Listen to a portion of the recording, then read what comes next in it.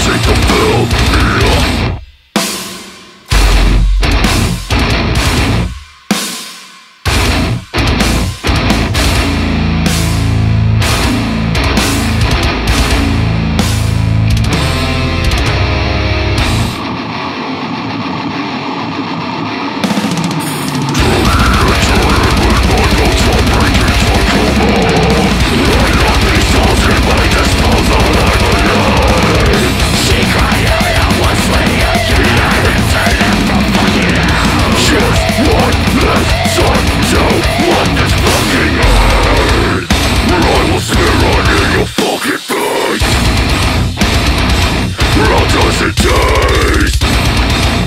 After the lips are still below your waist You will never fuck again